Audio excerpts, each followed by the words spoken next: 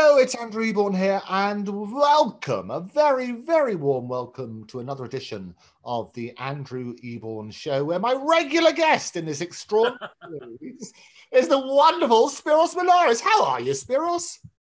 Hello. Very good, thank you.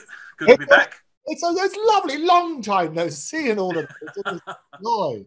Well, and in the last episode, we were talking about a young Spyros and how your father would buy lots of things. He'd buy musical instruments in the hope that people would play them. But he bought you your very first eight millimeter camera at the age of six, and you had a chance to go around recording stuff.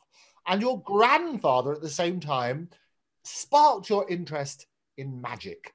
And it's the combination of the two which should explain a little bit about that wonderful man of mystery, Spyros Melaris, today, and what took you and the combining both of them into what has been called, very modestly, the greatest hoax the world has ever seen. And that is the alien autopsy. We love it. We love it. It's really good. And I love this because I know several of the characters involved in this particular story. I went to school with Nick Pope. And he's Okay. been on, I see, you see, and he's been on the show talking about sort of things. I know Ray, as you know, he's just around the corner, and I know you, and Ant and Dec, I know, and I was down in Cannes, and all this sort of stuff. All of these elements, I could play Alien Autopsy bingo and call house before anybody else. It's good. Fantastic. But I love this. And this is what I'm going to do. I'm going to set it, let's set it for the context for everybody else who's watching, thinking, what on earth are they prattling on about?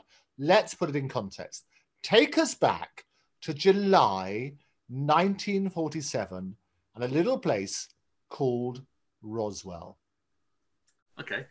Um, well, what happened was um, something crashed in the desert of New Mexico, uh, just outside of Roswell. And and I, I know this I know this story quite intimately because I went to Roswell and I interviewed thirty odd people who were there at the time, and and I got all their accounts of what happened.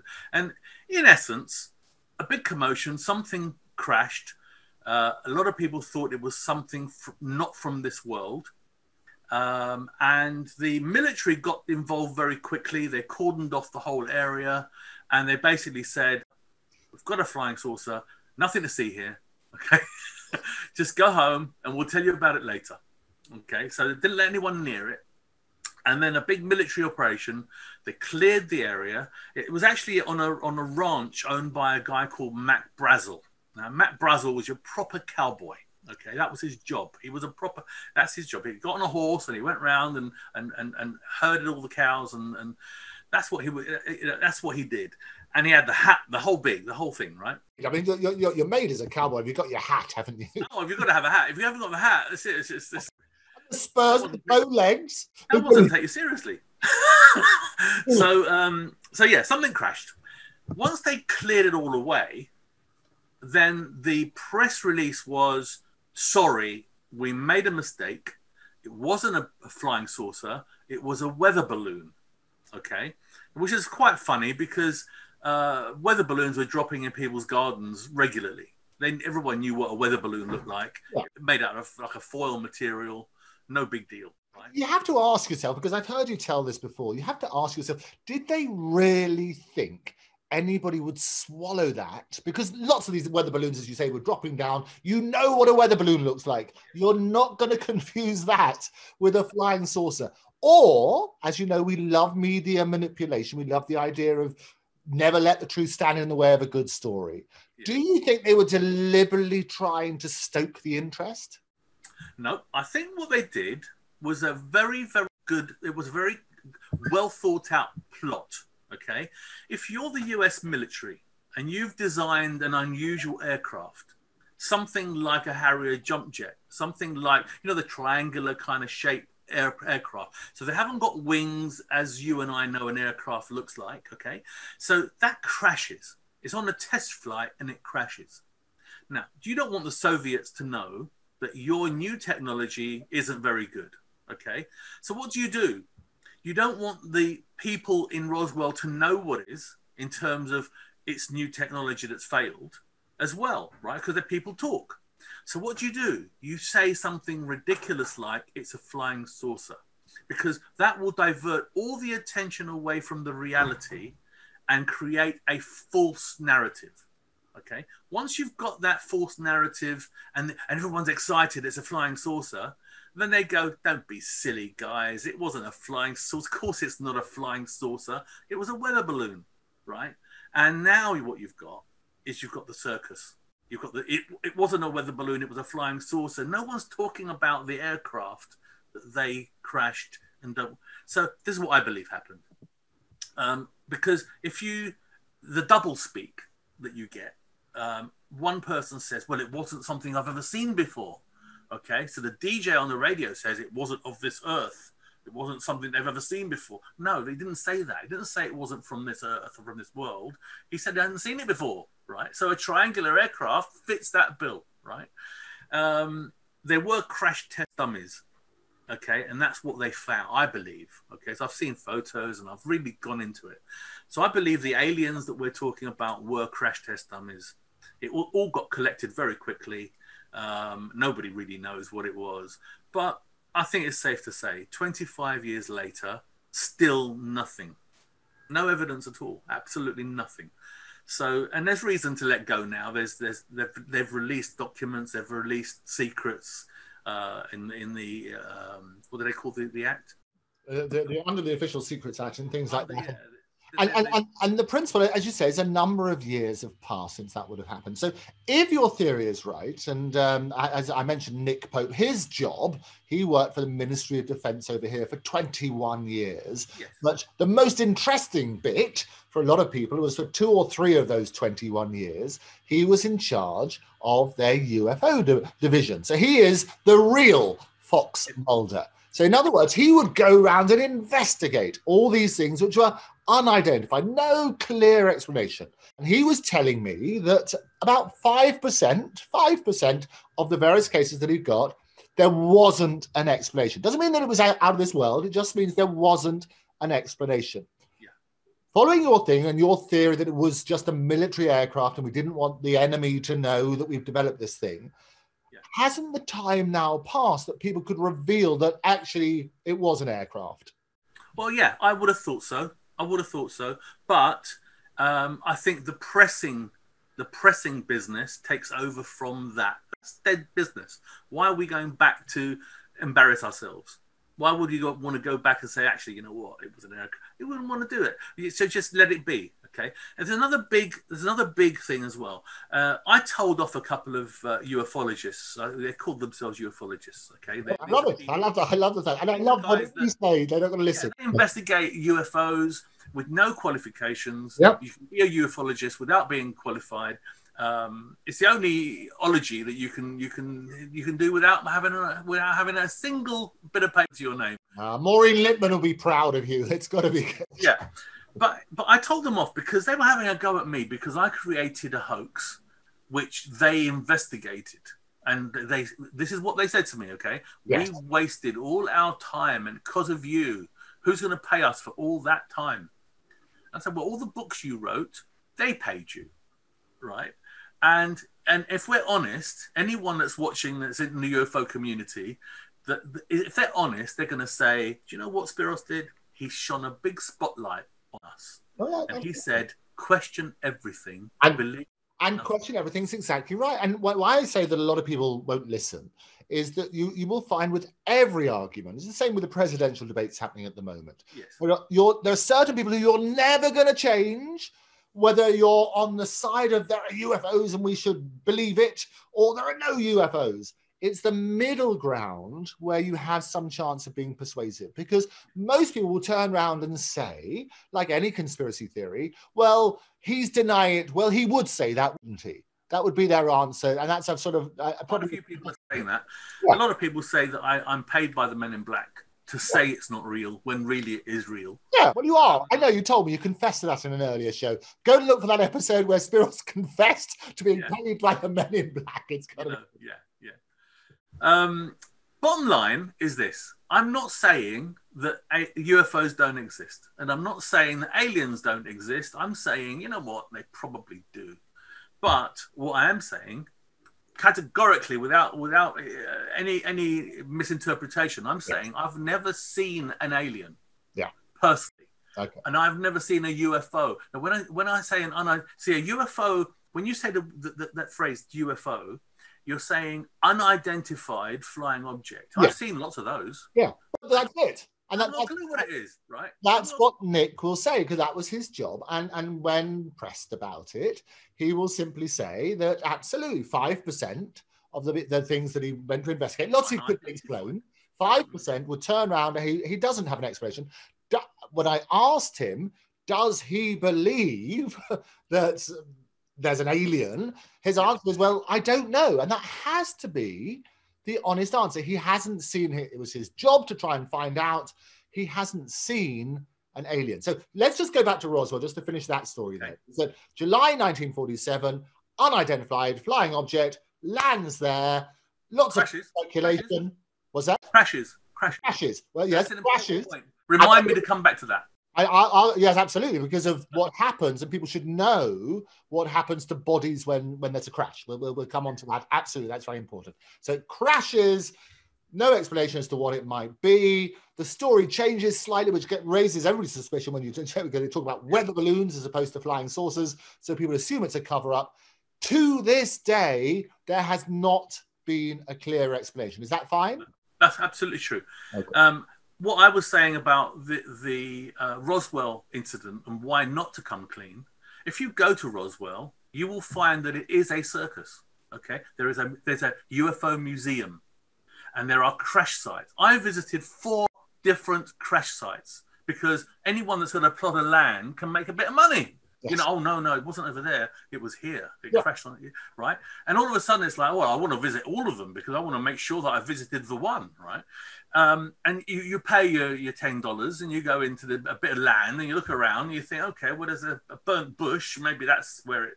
You don't know, right? So they they have made money from it. It's it's paying the rent. Okay, so Loch Ness monster. You don't want to deny Nessie. People, people, and people love a good story. As I say, don't let the truth stand in the way of a good story. So I get Roswell. It is an unsolved mystery. And the great thing is, when you go and talk to people, and there's still, and I know you spoke to 30 odd people down there, there'll be some who convince themselves that it's true. And this Here's is what I. I talked about credibility here's as people, people can be very credible. Talk to me about some of those people. We'll come on to what you did Okay. later on. Talk to me How about, about some of this, the people you spoke to. A story that will make you stop and think because it did. It made me stop and think. Okay, Mac Brazel, the cowboy, Yeah. okay, was was on record of having got on his horse, okay, gone to his nearest neighbor to show her a piece of this spaceship that he picked up, which was unusual material, very unusual material. So I went there to go and visit Loretta Proctor, who was in her 80s, and she was his neighbor. Guess how far she was? Oh, miles away, I imagine, as a 20 neighbor. miles. How many? 20 miles away. 20 miles away. Good heavens. Oh, this is how excited he was. He went on horseback in a storm to go to Loretta Proctor to show her this bit of foil like material that he got from this spaceship. And Yeah. he told her all about it. So I, I interviewed her and I asked her, what was it he showed you? She says, well, it was like a metal that you wadded it up into your hand. And when you let go, it came out perfectly clean without a crease on it. And she said, you couldn't cut it, you couldn't tear it, you couldn't, it was very light. It was like aluminium foil, but metal. Okay. I thought that's fantastic. I said you've got a very good memory. She says, well, you never forget that in your life, you know. So me being the smart, the smart, you know, um, director, I want to, I want to catch her out, right? And I said to her, Miss, Miss Proctor, can I ask you a, a, a silly question? Why is it that spaceships always kind of crash or they're always seen in a little place in the middle of nowhere in America?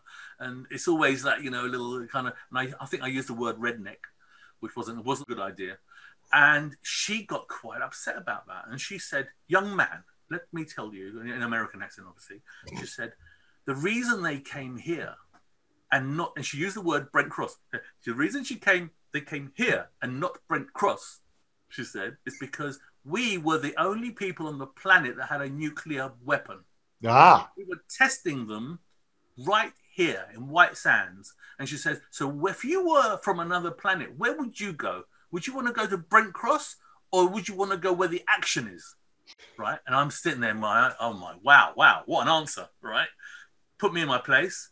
But that's that was the bottom line. The bottom line was some lots of things happened, like Mac traveling 20 miles on horseback in a storm. Yeah. It wasn't a weather balloon. Okay. And it doesn't sound like it could be an air, a, a, a human made, you know, that, that whole wadding the, you know. Then I spoke to somebody else and I said, what do you make of this wadding of the material that came out? And, you know, and he said to me, and I've got a film of this, and he said to me, well, you know what? Maybe it's right in front of your eyes I said, What do you mean? He said, Well, maybe we took that technology and we're using it right now. He said, And it's right in front of your eyes. Please explain. And he took his glasses off. Yes. And they were made of memory metal. And he bent them like that and they came back again.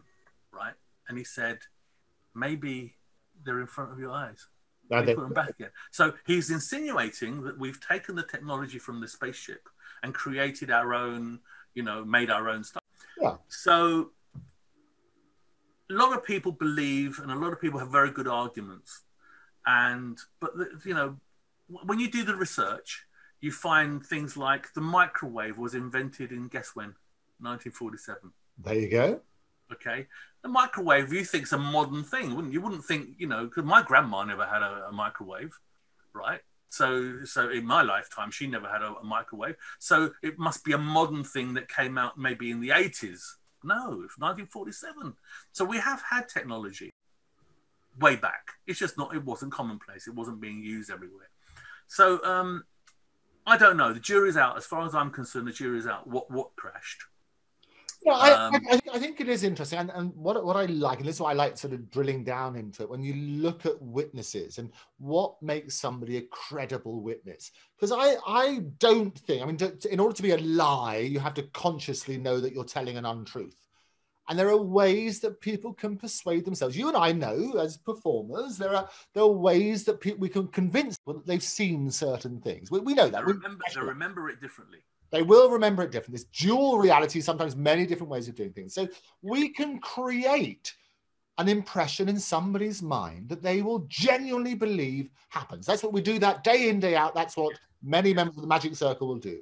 Yeah. What happens is so I don't think a lot of these people are lying in terms of that. So when people say, are they lying? That's a conscious decision to tell an untruth when you drill down into what the witnesses said, there are alternative explanations. And that's why you can look at that. And let's say when Nick Pope does his little analysis, he has it's very easy. He says most of it's very boring. They can explain very quickly, 95% of that. When you're looking at the credibility of a witness, some of the most persuasive people are those who used to be skeptics. Now, yeah. when you were interviewing your people who suddenly that road to Damascus moment say, I never thought this was ever possible, but then bang. bang. And then you're the expert. Beforehand, you understood, you've seen absolutely everything. That moment. Of the 30 witnesses you spoke to, did you have one of those so called expert witnesses? All of them. All the military people, all the doctors, um, uh, all those kind of people, they were all experts here's uh, there were two contrasts. Okay, one guy wasn't there in 1947. He was there in 1969. Right. Right. He was in the military. A guy called Clifford Stone, Sergeant Clifford Stone. Now, you speak to him, he's very, very coherent. Very, he know he knows his stuff. You can see he speaks from authority. And he told me that he saw. Now, bear in mind, I'm the maker of the alien autopsy, but they don't know that. They think that's from 1947, right. so I couldn't have made it. Okay, I'm just a guy doing a documentary, and I'm about this film. Okay, so they're talking to me, but I know the truth. Okay, they don't know that. So I say to him, what, "So what do you make of of this film?" And he said, "Well, I've seen it before." I said, "Oh, really? Where where have you seen it before?" And he said, "Well, I was driving some officers to uh, Fort Worth in Dallas." And um, they went inside to to have a, a, a, private briefing, a secret briefing, And she said, and I was with another driver, another officer waiting outside.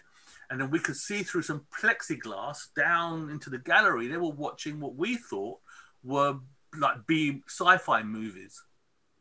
And and he said, I and I saw this film. They were watching that film in 1969, and it's been haunting me since. Now I know it wasn't it wasn't even made till 1995, so he couldn't have seen this. So as a thinking person, as a, a fair person, I've got to say, well, maybe he saw something else that looks like it. Maybe it was just if it's similar, I don't know, right? Could, I could have fluked something. So I let it go, right? I carried on the conversation. So I said to him, so so was it like this film or was it exactly like this film? He said identical. I said, please define that for me. What do you mean by identical? The room, the, where the clock is, all that stuff, or just the body? What what is? No, everything. Exactly. It was exactly like this. Well, no, I put the clock there. I put the telephone here. I put the tables there. To, to fluke all those things on, on another film that he's seen. Yeah. Well, I'm better than I thought I was. Right? I can't do that. Right? So so I I knew he wasn't telling the truth. Now, what he could have been doing, because people want to be special, right? They want to be special. They want to be part of something. So there's a, this big roller coaster now, this thing that everyone wants to be a part of it. So he comes back with, "Oh yes, and I saw it, and uh, and uh, they caught me, and they they then had to put me into they put me into a cell, and then they they interrogated me that I didn't see it, and until I admitted that I didn't see it, they wouldn't let me go, and he started crying on camera." Quite believable, right? This is really intense stuff intense stuff. But I know he couldn't have seen this film. So the, I left it. I let it be. And then I found out the man was a little bit, he embellished the truth a little bit here and there. He did go to an institution at one point. He had a breakdown. Um, so, so you know what? Everyone's got their story. Yeah, so, and, and, that, that's the point, isn't it, Spyros? Is you're you're looking at that, and and that's why it's so important to look at this in detail because every single witness you you as part of the lawyer's training if you like you're questioning their credibility. What is the reason they're saying what they're saying? Is it because they're out and out lying or they're a bit they're embarrassed not to go along with the flow? And you, you know that some people will say yes for the sake of doing it. If you interview somebody whilst you're wearing a white cloth and a clipboard, people are being made to do extraordinary things when you're experimenting with those sort of people. So each and every witness, So we, we will do, dissect this over a future series. This series will run and run and run. the whole world has bought your book. I can. but, but that's the principle. When you drill down into it, what you can clearly say, and this is where we are in the story so far, is that at the moment, nobody has explained what has happened in July 1947, what landed. Nobody's explained. A few possibilities, but nobody's categorically said, yes, it, came, it was an alien. This is what happens. Here's all the empirical evidence. And nobody's definitely said it was definitely a, a hot air balloon. This is what happens. Nobody's confirmed any of those either way. That is That's a right. promise. So it is currently unexplained. So we, we yes. can. Yeah. And it, it will always be, I think. Well, I, I don't think so. I, I think that we can drill down now with information this current age, when yeah. information is getting more and more readily available, and some of the witnesses are still there. There will be people who know what happened. There will be those who believe they know what happened, and we can interrogate those maybe a little bit more and look at that. But there will be those who definitely know. And I think we should drill down into that. Yeah, yeah. That's 1947. Let's then go forward. And a lot of your witnesses, they could be right. They could have seen a film. Absolutely. And what you're saying, just working on the truth, what what you're saying, and we're going to look at this in detail. What you're saying is that they did not see your film because your film wasn't made until several years afterwards. Is that fair? And what what I have said and, and I've laid a number of challenges out for people, you know, because I, I work on logic, you know, I work logic and facts. Now, if you say, okay, well, prove to me. Now, it's very hard to prove. For a long time, I've had a hard time proving it's not real. Oh. Then I sat back and I thought, okay, I know all the mistakes I made. They're hidden, but I know there's quite a few mistakes. So I can highlight those. Okay.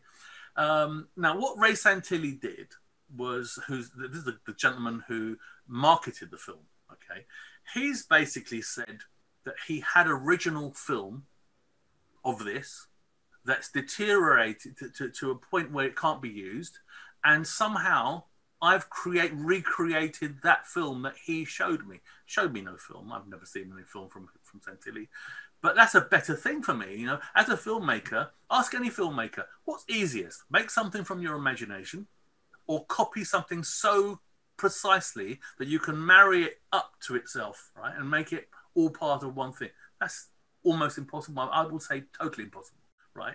It can't be done because you have to marry everything up to the finest detail. But let's just before you, you introduce Ray and, and, what, what he's currently saying, let's go back to when you first met because around this time, as you know, next week it's starting is MIPCOM, yes. TV festival. Uh, Cannes, a lot of people associate Cannes just with films. There is MIP, which is the, the television MIPCOM, which is just about to happen. TV, one of the biggest TV markets. Midem was the music festival, which used to take place in January and then got moved to, to June. Now, you, as uh, what happens at these events is like a networking thing. If you go down there, if you contacts beforehand, you say, I'm going to be in town, can we discuss business? As I understand it, you were down there, you're going to be there with a film crew, and Ray was round the corner, and you thought you might as well meet and see if there's a bit of extra work you can pick up. Is that uh, pretty much it? To where, where we are with with Midem. So talk me through, talk me through from there. Okay. Well, I was supposed to meet Ray um, once we got there. Um, and uh, I was very impressed with Ray at the time because he said, when you get to France, call me on my mobile. Now, that. If you contacts beforehand, you say, I'm going to be in town, can we discuss business?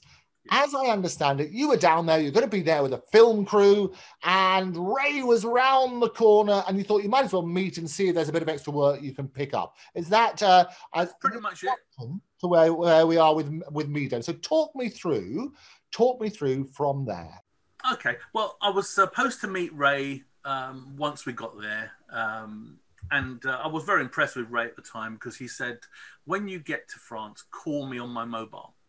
Now, that today isn't a big deal. At that time, that was a huge deal. His phone worked in France, right? Because they, just didn't, you know, it was, it was, a lot of money. It was, oh, it was an Only Fools and horses thing, wasn't it? Where he yeah, yeah, did. Yeah. It, it is Robin reliant and call the person in the, the house. phenomenal, phenomenal. So, so um, you know, my phone bill at the time was like six hundred pounds a month you know, this is where we're dealing with here is brand new technology. He had a phone that worked in France, right? This is very impressive. So, um, so I was going to call him after we got there. The, the evening we got there, um, we stopped to have something to eat, and I was going to call him the next day. We went to a restaurant, and after a lot of deliberation where we're going to eat, we ended up in this one place. Uh, I met up with a guy from Warner Brothers, had a little chat with him, da, da, da, and, and next to him was Ray Santilli, and I didn't know all evening Ray had been sitting there, and I didn't know he was him. And it wasn't until the guy said my name that Ray looked around and goes, Spyros? Oh, Ray? Do you remember which restaurant it was? It was an Italian restaurant. it was an Italian restaurant, and it was um, just just opposite the main um, the main stretch there with all the restaurants. What's it called? Uh, there's Vesuvio, which does sort of pizzas and things like that. No, no, it wasn't that one. Posher. I can't, you know, I can't remember what. what we have to look it up. We, we, want to get the facts in the story right. I will, I will. You must have um, your book. You so must... we finished. Um, it's so much in the book. I can't be. I can't, that one little detail is not important. There's so much. Uh, I can't even go there. Okay, you're um, Italian restaurant in France. You're Italian restaurant, and um, and we met and we started talking. They put the chairs on the on the tables. The girl was mopping up around us, and we're still there uh, talking, and he dropped the bombshell that he he had a film of an alien autopsy. And I was trying to get my head around it. Never heard of such a thing. What, what the hell? What is that? What is an alien autopsy? Um, I wasn't in the community. I didn't know anything about Roswell. I didn't know anything about you know. So as soon as he said he's got an autopsy of an alien being from outer space, that was it. I just I just wasted two hours of this guy you know, I'm tired and I've been, I've been listening to him all night and I've been, I've been giving him credibility and, and, now he's dropped this one. So he said, when you come to London, back to London, come and see me and I'll show you the film. I thought, well, no, nothing to lose. So I did that and he showed me a very bad video uh, of, of nonsense. And, and I just said to him, Ray, this is not real. to just describe what you, I mean, you talked about in in, in other um, about a made by a um, so talk, what, what was you talked about a papier mâché head and and that sort yeah, of... it was it was made by uh, a guy called Keith Bateman uh, who ran a company called AK Music yes. in Milton Keynes and uh, and they did it for fun. They went to a barn, uh, a farmer's barn, and they just put a table out and uh, one of the guys lay there and put his head to the side and covered it up and they put a papier mache head i think they may have i don't know how they made it but if i had to make it what i would do is i'll blow a balloon up put some papier mache around it just to stiffen yep. it all up a little bit and then paint two black eyes on it and stick it on the side there because it was so dark and so dimly lit and so you, it doesn't matter what it was doesn't that just doesn't matter and uh, they were pulling bits of string out of the stomach and cat food and whatever they had in there. And it was just it was just really nonsense. So um, and it was wasn't supposed to be anything. Well, Ray saw this and thought, you know what, I might just get away with this. You never know, right? You know what Ray's like. So so uh, I just chanced my arm. So he showed it to a couple of people who didn't blink. No one said, "Oh, this is not real."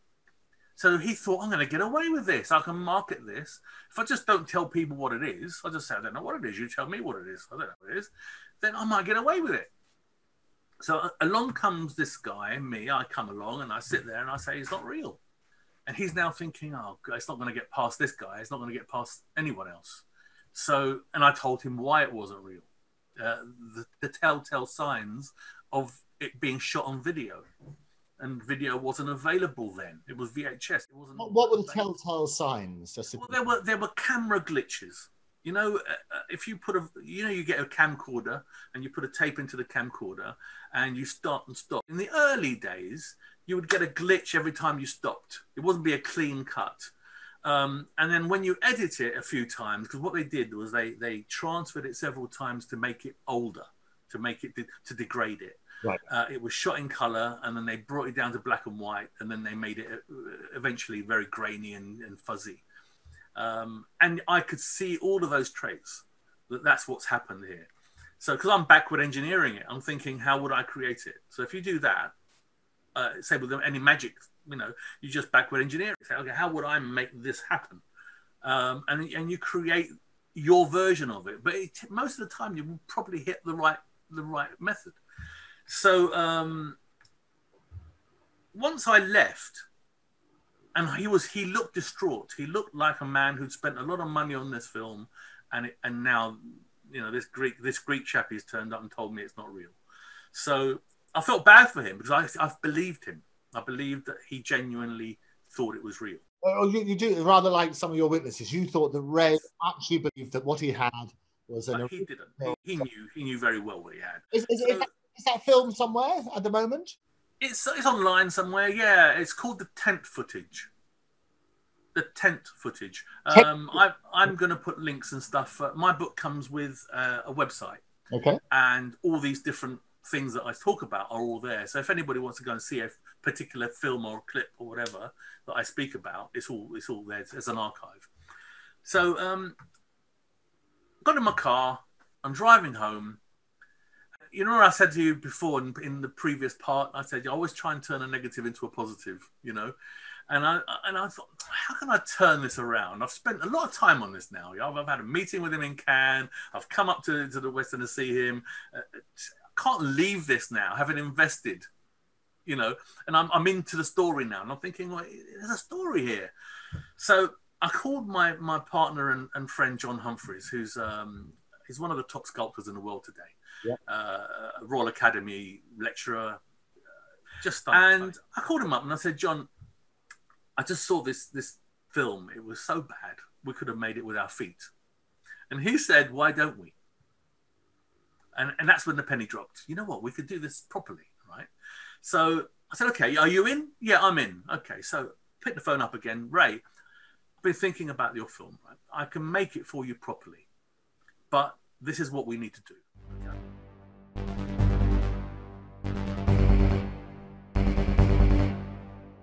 Want to look at anybody who's an expert in these matters needs to be convinced of their own area of expertise, whether it's the clock, the instruments, the way you carry out the autopsy as opposed to being a surgeon, all of those little elements, the way that if there's a, a crash, what happens to bodies and that sort of stuff, as opposed to being shot. All of these elements tie in to make something convincing.